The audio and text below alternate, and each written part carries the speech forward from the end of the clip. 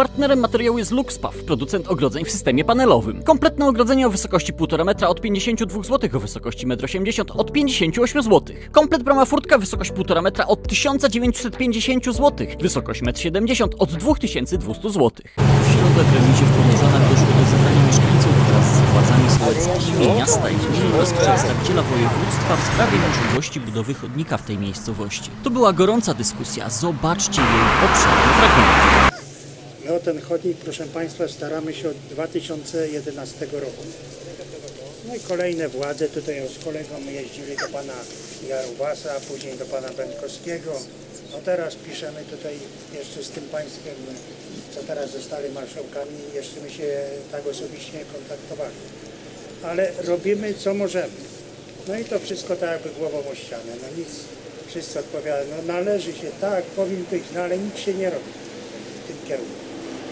No i dlatego poprosiliśmy Was, żeby może Wy nas pomożecie w tej sprawie, no bo już nie ma wyjścia, nie wiemy gdzie się zwrócić. Nie? W ogóle jest dziewięć wnuków, pani redaktor. Jeżeli chcesz wyjść z trzema wnuczkami, yy, brat ma po drugiej stronie, ma yy, bliźniaki. Jeżeli tu przyszły, przychodzi się no, z dziećmi do nas, to trzeba te dzieci przeprowadzić z tym wózkiem, bo się nie da. Bo po prostu takie są kobiety. Druga sprawa jest między Modyszyńcami a Konorzanami. Jest tutaj taki odcinek koło mostu że po prostu jest asfalt, a od asfaltu jest takie pobocze. Jeżeli się jedzie do Groszka, na przykład do sklepu czy do Dino, nie można przejechać. Już żeśmy tu rozmawiali o tych innych sprawach, że po prostu, jeżeli nie będzie u nas chodnika, to niestety, ale będziemy zmuszeni po prostu jeździć poza stodolą, jak to się mówi, przejechać tam i po prostu jechać boczną drogą, żeby dojechać do Dino, bo się przez te tiry nie da przyjechać. Taka jest sprawa.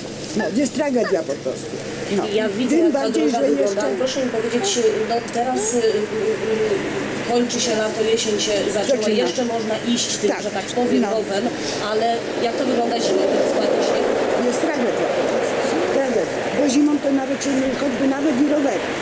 Znają, bo przecież dzieci dalej, dalej mieszkają, co nie chcą zjechać obojętnie po coś do sklepu. No to albo trzeba kogoś poprosić, albo po prostu, żeby po prostu samemu przyjechać do miasta, bo i tak, żeby można było busy wrócić automatycznie, bo luz jest pół do dziesiątej, później dopiero po drugiej. No, taki jest dojazd też. Szanowni Państwo, może na samym początku to może skieruję słowa podziękowania, że faktycznie przyjechaliście do nas i wspieracie nas w tej ciężkiej walce, bo naprawdę jest to walka z wiatrakami na dzień dzisiejszy. Ale jak to mówią, nadzieja zawsze umiera ostatnia. A życie nasze to jest naprawdę jak Yy, Pan Gosek nam kiedyś powiedział, szczęść Boże, niech Wam Bóg dopomoże. To jak poruszamy się po tej drodze, to weź w świetle właśnie tej zasady. Cieszymy się, że dojdę, bo mieszkam na tamtym końcu, a do tej remizy przychodzę kilka razy w ciągu tygodnia. To naprawdę dla mnie jest to droga przetrwania. Choć jeszcze jestem sprawny, ale y, teraz jeszcze to człowiek ucieknie, ale jak jest przychodzi zima, to nieraz przez tą ucieczkę to jest człowiek w pas w śniegu, jeśli, y, jeśli jeszcze się zdąży uciec w ten śnieg. Kierowcy nie zważają. Ten odcinek tutaj od tego zakrętu, no to już jest y, tor Formuły 1. Tu latem to się odbywają wyścigi motorowe, wyścigi samochodowe. Godzinami wieczornymi tutaj się odbywają takie orgie, po prostu już w cudzysłowie takie użyję słowa, że te samochody naprawdę nie zważają na nas, którzy idziemy piesz, tutaj nawet tym poboczem. Idziemy już prawie żerowem. Nie zważają na nas i tir potrafi nawet i po, poboczem y, jechać. Y, no nie wiem, no naprawdę, no, jest to szkoła naprawdę przetrwania. Jeśli Państwo chcą na przykład takiego y, czegoś przeżyć, takiej adrenaliny, zapraszamy w, w takich y, kiedyś. Możemy się przejść przez Pomorzany i zobaczycie Państwo, jak ciężko naprawdę się e, porusza tutaj w tej miejscowości. To ja mówię o sobie, a weźmy teraz ludzi starszych, a weźmy te mamy z tymi dziećmi. Przecież dziecko to jest żywe srebro. Yy, No naprawdę, no, trzeba mieć oczy w koło głowy. Yy, Naprawdę jest cud, naprawdę, że jeszcze tu nic naprawdę się nie stało, ale to przez to, że ludzie pozamykali się w domu. Bo naj, najlepiej jest wsiąść w samochód i tym samochodem się poruszać. No ale szanowni Państwo, jeśli ja mam to nawet te pół kilometra, no to ja mam tu samochodem przyjeżdżać do tej remizy, nie mogę sobie przejść dla zdrowotności y, pooddychać i przejść, żeby y, tego tylko muszę tym samochodem, no ale naprawdę samochodem jest najbezpieczniej, no ale chyba nie tędy droga, bo ja powtarzam, że y, najpierw była wioska, a później dopiero była droga wojewódzka.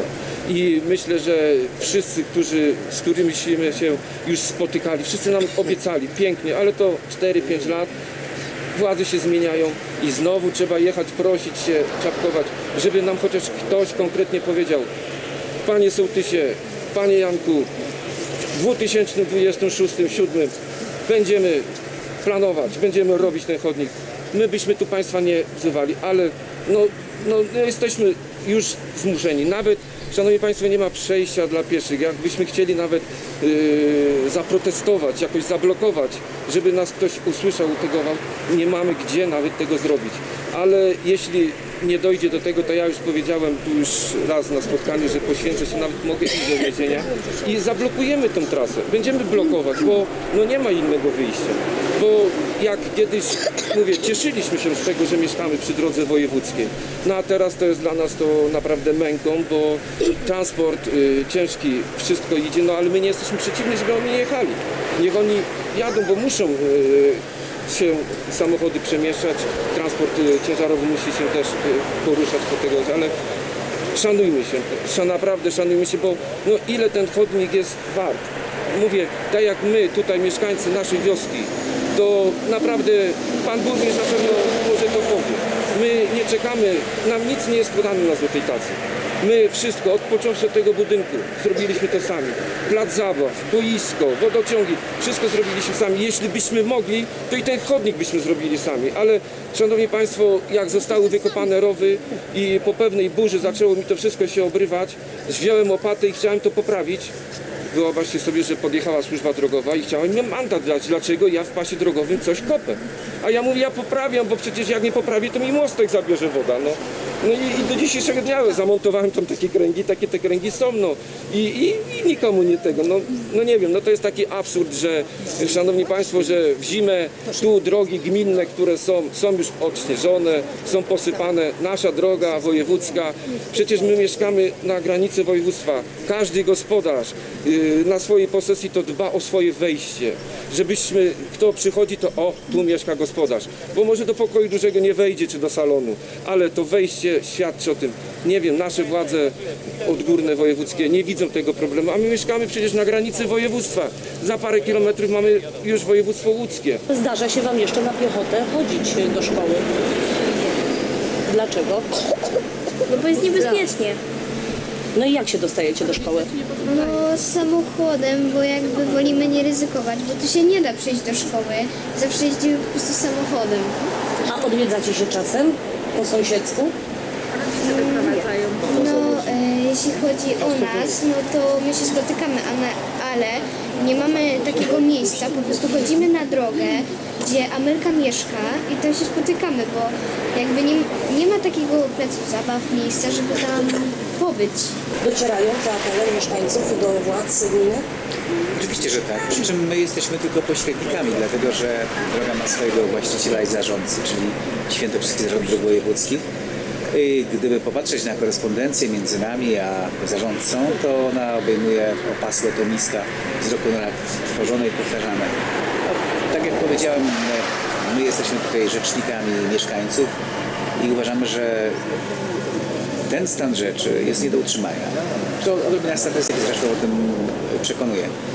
Według wyliczeń e, Inspekcji Transportu Drogowego przez Pomorzany przejeżdża około 5 tysięcy samochodów dziennie, w tym około 800 samochodów ciężarowych. To są ogromne cyfry i one wskazują na to, jaki jest e, rozmiar e, zagrożeń wynikających z tego ruchu. E, Jest tylko problem taki, że trzeba znaleźć sposób i tak jak Pani powiedziała, pieniądze i może to znaleźć jedynie właściciel i zarządca. No przede wszystkim jest problem drogi. Pieniądze to jest taki e, problem w tle, o którym za chwilę. Natomiast tu rzeczywiście e, Państwo mają bardzo wiele racji. Ja nie będę tłumaczył ani moich poprzedników, bo władza publiczna ma to do siebie, że ma ciągłość i nie będę mówił, że ktoś mógł, a nie zrobił kiedyś. Nie, nie po to tutaj jestem. Dziękuję za zaproszenie i za to, że mogę być i w mediach i razem z Państwem, z mieszkańcami i powiedzieć, jak to dzisiaj wygląda. Żadnym tłumaczeniem z mojej strony nie byłoby to, że województwo ma ponad 1100 km dróg, bo co to Państwo może interesować? Jesteście mieszkańcami, macie te swoje półtora czy dwa kilometry drogi wojewódzkiej i interesuje Was chodnik. I to wcale nie jest tak, że nikt o tym nie myśli. W zakresie takich inwestycji, Szanowni Państwo, determinantami do działalności władzy to jest zawsze czas i pieniądze, o których Pani redaktor wspomniała. I w tym zakresie po e, korespondencji z Panem Burmistrzem, ale przecież ona, Panie Burmistrzu, nie dotyczyła tylko tego odcinka drogi wojewódzkiej. Wiele rzeczy w gminie Końskiej i powiecie koneckim się dzieje. Tu nisko się kłaniam Panu Burmistrzowi i radnym, bo e, też współudział finansowy samorządu końskich w tych inwestycjach, które województwo prowadzi jest i za to dziękuję, bo samorząd tego robić nie musi, a robi. Ale tak wygląda współpraca samorządów. W zakresie e, budowy tego, o czym mówimy i tej korespondencji, o której Pan Burmistrz wspomniał, tak rzeczywiście ona się odbywa. Zazwyczaj nie ze mną jako e, członkiem zarządu, tylko ze Świętokrzyskim Zarządem Dróg Wojewódzkich. To taka nasza jednostka budżetowa, która te rzeczy realizuje w imieniu Zarządu Województwa, e, ale tak naprawdę ze względów finansowych to samorząd województwa, czyli z Państwa podatków, z tego co mamy do dyspozycji, te inwestycje realizujemy. I powiem Państwu tak, na dzisiaj, nie tłumacząc poprzedników, dlaczego w poprzednich kadencjach, wiem, że ta droga, nie wiem, 6-7 lat temu była gruntownie modernizowana i nie mam do Państwa żalu, że wtedy o chodnik nie walczyliście, a była... Dobrze, po, proszę mi pozwolić skończyć. Ja wiem, co mówię. Y, Jezdnia była zrobiona, y, chodniki nie, tak? Mógłbym powiedzieć, że czyjaś tam wina. Nie mówię tego. Władza publiczna ma ciągłość, nie będę ani nikogo bronił, ani atakował. W jakim miejscu jesteśmy dzisiaj, proszę Państwa? Dzisiaj budżet województwa y, w tym roku troszkę ponad miliard 300 milionów. y, 700 milionów to są drogi, ich budowa, utrzymanie i obsługa. Więc sami sobie może, możecie Państwo policzyć, że to jest y, troszkę ponad połowa tego budżetu, jak na szybko policzę, ale to też nie jest wytłumaczenie, ja nie szukam alibi. To, to jest ten jeden z determinantów, o którym Państwu powiedziałem. I teraz kwestia tego, co się dzieje y, w zakresie e, dróg. To prawda, z Panem Burmistrzem wymieniamy korespondencję, y, wychodząc trochę przed orkiestrę. Podejrzewam, że jeszcze w tym roku rozstrzygniemy przetarg na pierwszą, pierwszy etap obwodnicy Końskich. Pan Burmistrz o tym wie.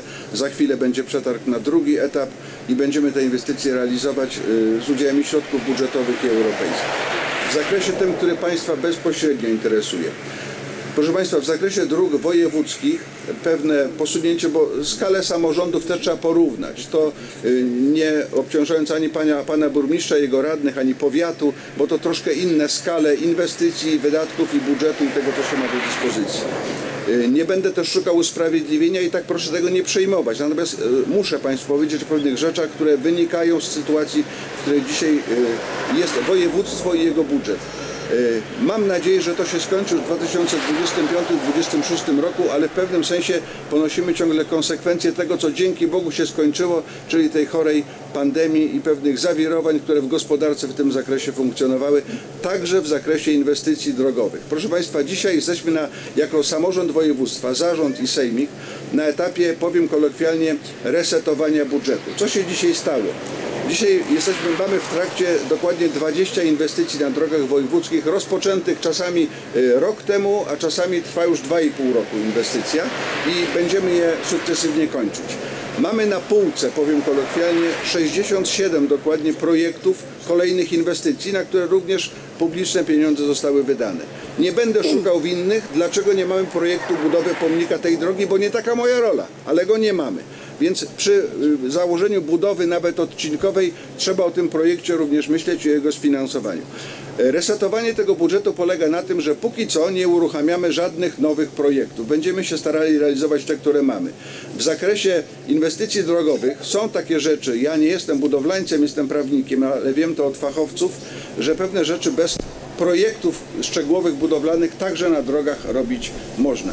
Przyszłoroczny budżet województwa będziemy konstruować tak z dużym funduszem operacyjnym na podejmowanie działań takich, o których pan burmistrz też był informowany, jak sprawdziłem ostatnia moja odpowiedź burmistrza w zakresie zaawansowania prac, to chyba dotyczyła pięciu czy sześciu inwestycji i tam w zakresie Pomorzan i tego, o czym dzisiaj rozmawiamy, była taka odpowiedź, że pierwsze półrocze 2025 roku ja panu burmistrzowi zobowiązałem się w tym piśmie we wrześniu już przedstawienie konkretnych propozycji w tym zakresie i tak to było, proszę państwa. I dzisiaj jest, jesteśmy w takiej rzeczywistości. To nie jest tak, że nikt o tym nie pamięta, tylko w tym zakresie, który nas determinuje, jak się coś zaczyna i robi projekt, ogłasza przetarg, trzeba mieć na to pieniądze. Jesteśmy na etapie projektowania tego budżetu na przyszły rok i ja odpowiadając dzisiaj między innymi za drogi, bo to jest tylko jedna z moich działek oczywiście bardzo ważnych, jestem na tym etapie, że jako człowiek odpowiedzialny poczuwam się do tego, żeby nie tylko przed państwem się tutaj wykazać, bo podobnych miejsc w województwie, gdzie ludzie chcą budowy chodników, mamy kilkanaście dzisiaj, tak? I, I ja tych ludzi doskonale rozumiem, w większości tych miejsc byłem osobiście, dlatego dzisiaj po telefonie pani redaktor nie przesłałem tu dyrektorki dróg wojewódzkich, tylko przyjechałem osobiście, bo ja się ludzi nie boję. Powiem wam wprost, jak to wygląda, licząc przede wszystkim na to, że te determinanty, czyli czas i finanse do was dotrą i zaufacie mi na tyle, że ja, nie wiem, w kwietniu, w maju czy w czerwcu przyjadę ponownie i powiem, co zrobiłem i w co wchodzimy za chwilę. To jest moje na dzisiaj zobowiązanie, w dużym cudzysłowie, bo, bo do tego staram się doprowadzić oczywiście z całym zarządem województwa, bo nie jednoosobowo podejmuję decyzje. Jest jeszcze 30 radnych sejmików, których też trzeba przekonać do pewnych działań, ale to już jest moja głowa w tym wszystkim, żeby do tego doprowadzić.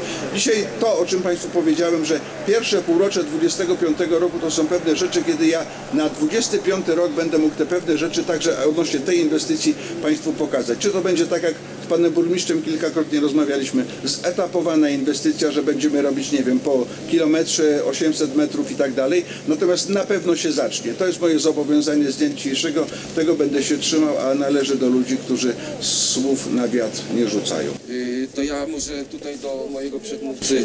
To znaczy się, że za rok już będziemy mieli jakiś konkret. Czy idziemy w prawo, czy się do przodu, czy będziemy się cofać. Ja jeszcze Czy możemy po prostu jakoś Panu pomóc? Może y, trzeba jechać, y, no nie wiem, może nie taką aż wielką y, gromadą, ale może jakąś delegacją na jakąś sesję y, Rady y, Sejmiku, y, żeby Panu pomóc po prostu, żeby ten nasz głos był słyszalny. Bardzo dziękuję za ten głos, proszę Pana. Oczywiście, jeżeli będzie im potrzebna pomoc, to ją poproszę, na pewno. Natomiast miejcie świadomość tego, no, po to chodzicie na wybory, wybieracie sobie swoich przedstawicieli. Pewnie nie wszyscy wiedzą, że ja jestem Waszym radnym z tego okręgu w Sejmiku Województwa. Pewnie są tutaj też tacy, którzy, którym nazwisko Andrzej Pruś coś tam mówi, bo to już trzecia kadencja.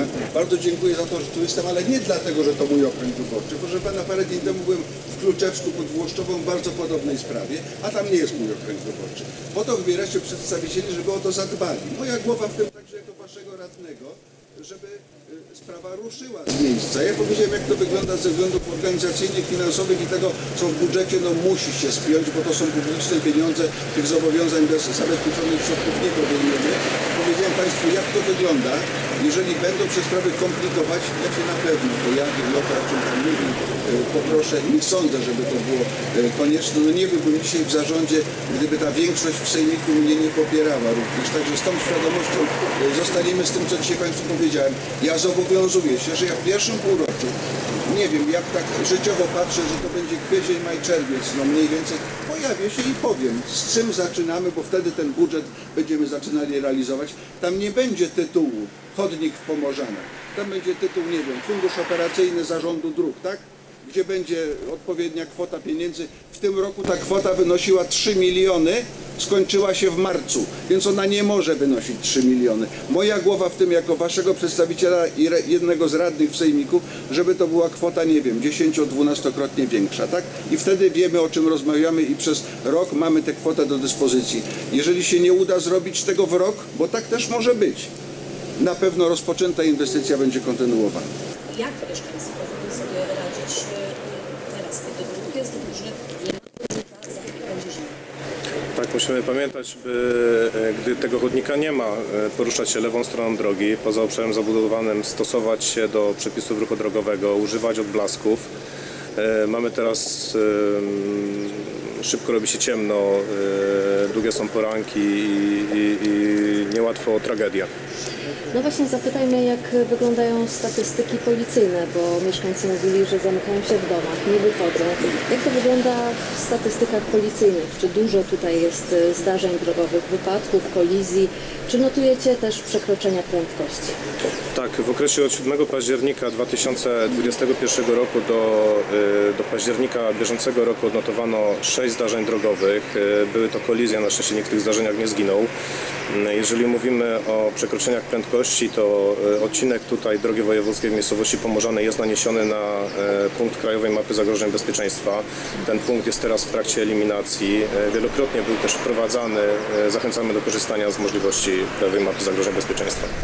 E, Państwo jako policja też e, zgłaszaliście problem z bezpieczeństwem tutaj na tej drodze do Świętokrzyskiego Zarządu Dróg bezpieczeństwo, y, wpływ na poprawę bezpieczeństwa jest e, fundamentalną dla nas rzeczą i wpływały do nas sygnały od mieszkańców.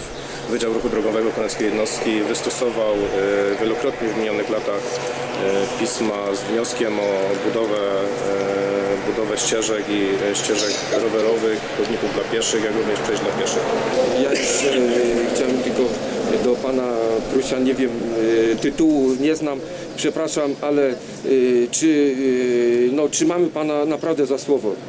Ja widzę, że pan jest słowny i, i, i trzymamy za słowo, ale czy tak doraźnie, żeby tutaj troszeczkę poprawić to bezpieczeństwo, może radar by jakiś zamontować.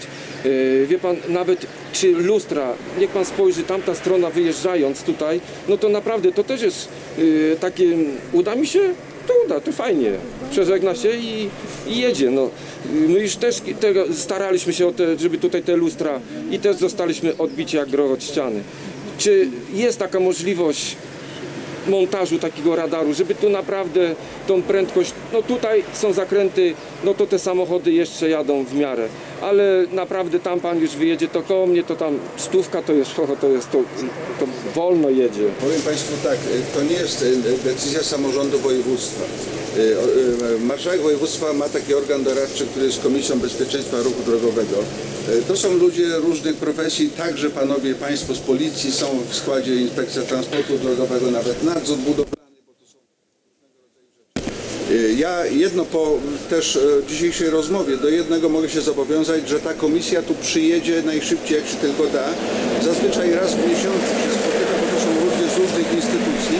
Natomiast y, no w jakiś sposób nieorganizacyjnie podlega. Mogę wpłynąć na to, żeby do tego harmonogramu im to e, wpisać. Z sugestią z mojej strony e, e, opinii na temat bezpieczeństwa ruchu na całym tym odcinku drogi. Więc wtedy pojawią się wszystkie sugestie dotyczące miejsca, gdzie można postawić lustro, ewentualnie zaplanować przejście dla pieszych, czy myśleć o pomiarze prędkości. Natomiast to już nie, jest nasza decyzja, dlatego że o tych radarach już decyduje Inspekcja Transportu Drogowego. My możemy jako ta komisja ewentualnie zawnioskować do, e, do nadzoru, do Inspekcji e, Transportu Drogowego, żeby o takim obdarze pomyślała, ale na te decyzje mieć nie będziemy mieć wpływu. Moje zobowiązanie takie w najbliższym możliwym czasie, myślę, że to będzie w tym miesiącu, ta komisja tutaj trafi. Jeżeli będę wiedział kiedy, będę znał termin pana sołtysa, pana burmistrza, zawiadomię, y, no nie pomożecie im w tym, bo oni głosów z zewnątrz rzadko słuchają, uważają się, znają na wszystkim, ale taka też ich rola jest, proszę się nie dziwić. Natomiast ja ten raport y, taki szczegółowy dostanę, wtedy będziemy wiedzieć, jakie działania możemy już podjąć, żeby ewentualnie w czymś Państwu pomóc. Nie wszystkie od nas będą zależały, tak jak mówię o tych radarach, bo to już jest decyzja Inspekcji Transportu Drogowego. Także na wniosek tej komisji y, taki wniosek skierowany, ale, ale nie od nich decyzja będzie zależała. Jeżeli będą możliwe jakiekolwiek udogodnienia w zakresie bezpieczeństwa, czyli być może jakieś przejście dla pieszych, y, dodatkowe ograniczenie y, prędkości czy coś takiego, to na pewno takie działania podejmiemy. Potrzebujemy bardzo, przede wszystkim na przystanek, jak dzieci przechodzą do autobusu, żeby dojechać do szkoły. Czyli na chodnik poczekać można, ale jakieś No, rozwiązania no muszą innego być. wyjścia nie mamy, musimy czekać, skoro nam pan marszałek obiecuje, no to myślę, że dotrzyma słowa. Pana zdaniem? Moim zdaniem też przynajmniej przejścia dla pieszych powinny się pojawić. Tak? Bo jak sobie teraz radzicie? Jak dzieciaki sobie radzą bez tych przejść dla pieszych? Trzeba, cze- trzeba czekać po prostu jak samochody przejadą no, i poczekać na tą lukę. Tak? A jak nie, to wozimy samochodami. osobowymi samochodami. wszystkim Chcą dzieci też pobawić się, to rodzice idą, przeprowadzają do sąsiada i po prostu śpiewamy na podwórkach. Oczywiście, że jest bardzo trudno. Chcąc tutaj przyjść na spotkanie do Państwa, musiałam dzieci wpakować do samochodu. Mimo, że żeśmy wózkiem zaczęły wychodzić, ale jesteśmy dwie osoby dorosłe, trójka dzieci. No niestety, no jest to problem, to jest zagrożenie, to jest niebezpieczeństwo dla tych maluchów. To są, jest dziewczynka czteroletnia, to jest maluszek, więc to są dzieci niedogadnicze przy takim wąskim jeszcze przejściu. Plac zabaw mamy po przeciwnej stronie ulicy. Y, No też dzieci niestety nie puszczamy sami, musimy ktoś dorosły towarzyszy, żeby e, raz, że, żeby przeprowadzić, drugie, żeby to dziecko nie wybiegło z tego placu zabaw i, i na ulicę bezpośrednio. A wspominała Pani o szkole. No niestety dzieci trzeba zawozić i przywozić, bo na przystanek to jest raczej niemożliwe, żeby dzieci puścić. Pani też zdaniem na chodnik, y, jeżeli jest deklaracja, poczekać można, ale te rozwiązania... Na chodnik czekamy już tyle lat, więc poczekamy jeszcze ten rok. A jeśli byłyby jakieś możliwości inne, też będziemy bardzo wdzięczni i byłoby super, cokolwiek. Jestem mieszkanką akurat sąsiedniej miejscowości Modliszewic, są ze mną mieszkańcy również y, Modliszewic. Z przyjemnością moglibyśmy spacerować y, między naszymi miejscowościami, tym bardziej, że jest to e, taki teren bliski, od zawsze byliśmy związani w Modliszewicu z Pobożanami, ale niestety nie odważam się nigdy przejść tą drogą, podobnie jak nie odważam się przejść z Końskich do Modliszewic z uwagi na impet samochodów. Podziwiam również osoby, które korzystają z rowerów, ponieważ doświadczyłam wielokrotnie zepchnięcia pod muchem e, tirów. Bo no niestety, ale ta prędkość, która jest tak ogromna, a mamy drogę przelotową od Skarżyska do Łodzi i nie ma możliwości objazdu, więc rozumiem, co czują osoby, y, których dzieci wychodzą akurat do sąsiadów, bądź starsi ludzie, mama, tata, którzy potrzebują wyjść akurat z domu, przejść tą ulicą, więc bardzo proszę, apeluję tutaj, bo takich punktów niebezpiecznych oczywiście na drogach wojewódzkich w powiecie poleckim mamy kilka i Zarząd Powiatu również stosował y, stosowne wnioski, ale y, o tę drogę myślę, że należy zawalczyć, podobnie jak odcinek końc, o do końskich w ogóle dotąd.